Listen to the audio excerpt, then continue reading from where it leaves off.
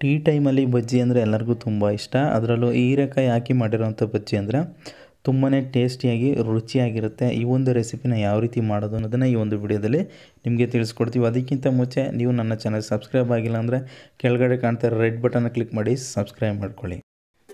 ನಮಸ್ತೆ ವೀಕ್ಷಕರೇ, welcome to my cooking channel. ಈ ಒಂದು ವಿಡಿಯೋದಲ್ಲಿ ನಿಮಗೆ ತಿಳಿಸ್ಕೊಡ್ತಾರಂಥ ರೆಸಿಪಿ ಅಂತ ಅಂದರೆ ಹೀರೆಕಾಯಿ ಬಜ್ಜಿ. ಈ ಒಂದು ಹೀರೆಕಾಯಿ ಬಜ್ಜಿ ಅಂದರೆ ತುಂಬಾ ಟೇಸ್ಟಿಯಾಗಿ ಮತ್ತು ತುಂಬಾ ಚೆನ್ನಾಗಿರುತ್ತೆ. ಇದನ್ನು ಯಾವ ರೀತಿ ಮಾಡೋದು ಅನ್ನೋದನ್ನು ಈ ಒಂದು ವಿಡಿಯೋದಲ್ಲಿ ತಿಳಿಸ್ಕೊಡ್ತೀವಿ. ಇದಕ್ಕೆ ಬೇಕಾದ ಪದಾರ್ಥಗಳು ನೋಡೋದಾದರೆ ನಾವು ಮೊದಲನೇದಾಗಿ ನಾವು ಈ ರೀತಿಯಾಗಿ ಹೀರೆಕಾಯಿನ ಕಟ್ ಮಾಡಿ ಇಟ್ಕೊಂಡಿದ್ದೀವಿ.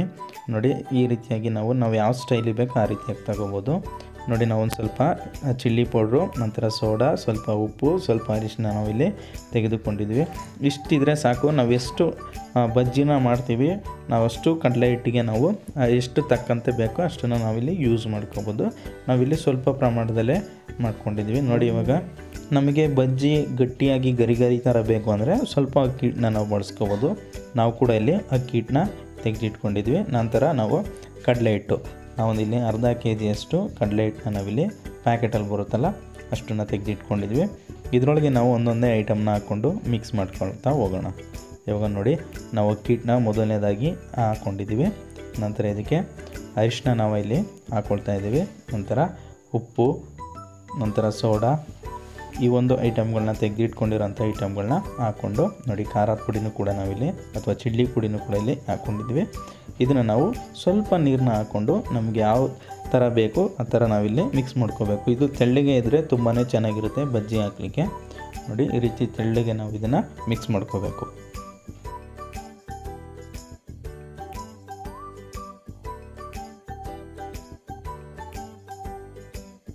ನೋಡಿ ಈ ರೀತಿಯಾಗಿ ಚೆನ್ನಾಗಿ ನಾವು ತೆಳ್ಳಗೆ ನಾವು ಮಿಕ್ಸ್ ಮಾಡ್ಕೊಂಡಿದ್ವಿ ನಾವು ಇದನ್ನು ಮಿಕ್ಸ್ ಮಾಡ್ಕೊಳ್ಳೋಕ್ಕಿಂತ ಮುಂಚೆನೇ ನಾವು ಗ್ಯಾಸ್ ಮೇಲೆ ನಾವು ಇದನ್ನು ಒಂದು ಬಾಣಲೆಯಲ್ಲಿ ಎಣ್ಣೆನ ನಾವು ಕಾಯ್ಲಿಕ್ಕೆ ಇಡಬೇಕು.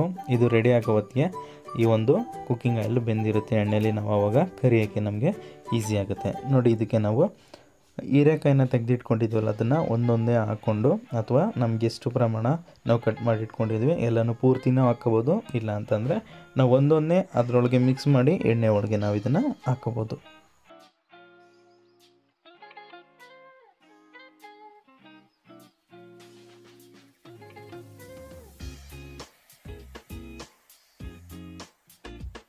ಇದನ್ನು ನಾವು ತಿರುವಿ ತಿರುವಿ ಹಾಕ್ಕೊಂಡು ಬೇಯಿಸ್ಕೋಬೇಕು. ಇದಕ್ಕೆ ಅಕ್ಕಿ ಮಿಕ್ಸ್ ಮಾಡಿರೋದ್ರಿಂದ ಇದು ಗರಿ ಗರಿ ಬೇಕು ಅಂತಂದರೆ ಇದನ್ನು ಚೆನ್ನಾಗಿ ತಿರುವಿ ಹಾಕ್ಕೊಂಡು ಬೇಯಿಸ್ಕೋಬೇಕು. ಸೀಲಿಕ್ಕೆ ಬಿಡಬಾರ್ದು. ಆವಾಗ ನಮಗಿದು ಗರಿ ಗರಿಯಾಗಿ ತಿನ್ನುವಾಗ ಒಳ್ಳೆ ಟೇಸ್ಟ್ ಕೊಡುತ್ತೆ.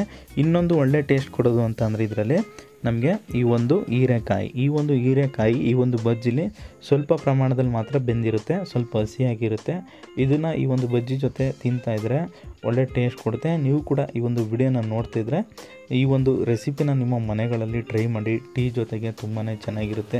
ಸ್ನ್ಯಾಕ್ಸ್ ಟೈಮಲ್ಲಿ ಮಾಡಿಕೊಡೋ ಅಂಥ ಒಳ್ಳೆಯ ರೆಸಿಪಿ ಆಗಿದೆ. ಈ ಒಂದು ವಿಡಿಯೋ ನಿಮಗೆ ಇಷ್ಟ ಆಯಿತು ಅಂದರೆ ವಿಡಿಯೋಗೆ ಲೈಕ್ ಮಾಡಿ ಶೇರ್ ಮಾಡಿ, ಮತ್ತು ನಿಮ್ಮ ಅನಿಸಿಕೆ ನಮ್ಮ ಕಮೆಂಟ್ ಬಾಕ್ಸಲ್ಲಿ ತಿಳಿಸಿ. ಮರೆಯದೇ ವಿಡಿಯೋ ಕೆಳಗೆ ಕಾಣ್ತಿರೋ ರೆಡ್ ಬಟನ್ ಕ್ಲಿಕ್ ಮಾಡಿ ಸಬ್ಸ್ಕ್ರೈಬ್ ಮಾಡ್ಕೊಳ್ಳಿ. Thank you for watching video.